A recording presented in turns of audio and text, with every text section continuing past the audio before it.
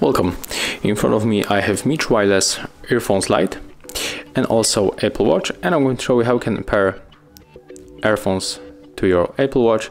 So at the first I'm going to unlock watch with the passcode and right now we have to go for the settings.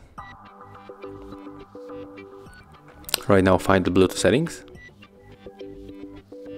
Here it is, so let's stop. And right now we have to open the charging case and then click and hold this button at the right edge of the case. So click, hold. And right now they are here, so we have to tap on it and still hold the button. And right now just relays when they are connected. And as you can see, it's very simple. Right now we can use these uh, earphones with your Apple Watch. For example, you can make a calls or listen to the media, wherever you want. So that's how it looks. Thank you guys for watching. Give thumbs ups, comments and subscribe to our channel.